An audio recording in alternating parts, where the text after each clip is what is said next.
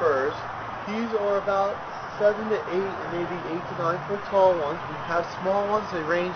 About the smallest is about five to six, six to seven ish. And we have them going all the way up to about 12 to 14 feet tall. Oh, we have a couple different other varieties of firs, but this is just a good example of one of Douglas that we have. So, these are our Fraser firs that we have available.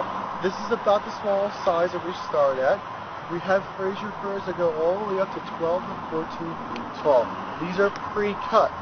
We also have a couple fields out in the back where you can go and cut your own Christmas tree. They are Norway spruce.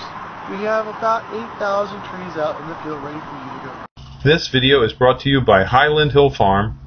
We grow and sell screening and buffering trees for privacy and sound barriers.